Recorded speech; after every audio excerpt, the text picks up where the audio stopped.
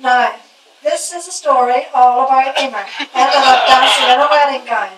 I'd like to take a minute, so just be cool. I'll tell you all about it. It started at school. so back in the bedroom, most of our days, we're chilling, relaxing, getting straight A's.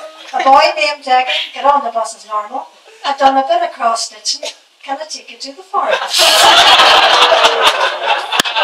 Young man who looked so good started spending lots of time in Eimear's neighbourhood.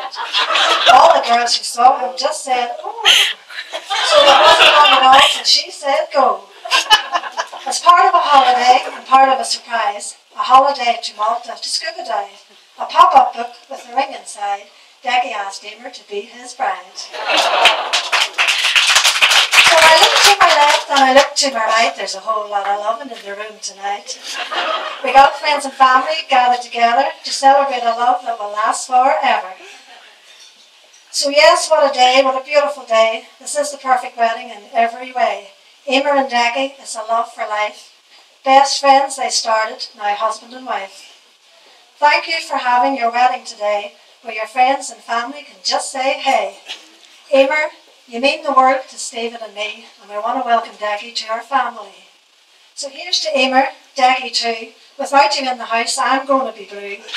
You're loved by everyone in this room. So cheers to the both of you, the bride and the groom.